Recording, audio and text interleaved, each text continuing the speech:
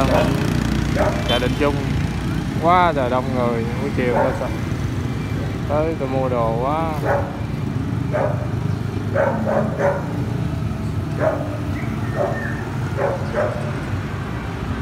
Mình mình không dám vô.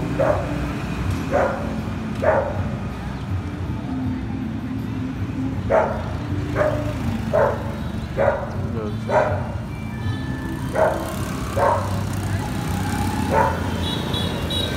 mấy xe gạo, xe tải gạo tới liên tục. Bà con đang mua mì, mua gạo để trữ lại. Làm cho tình hình ngày càng nó phức tạp thêm.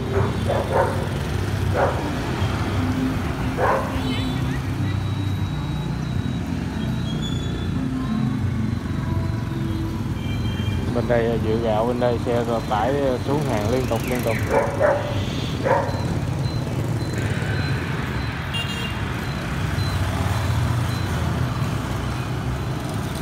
Đây là chợ Linh Trung Bình Đại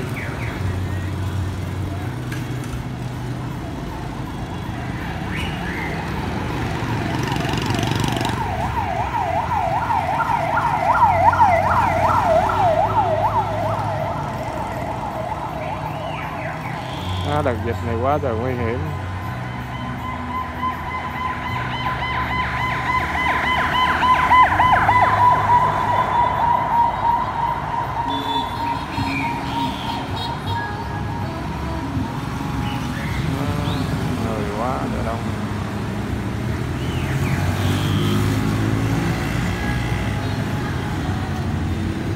Mua thuốc mua khẩu trang rồi mua lương thực dự trữ.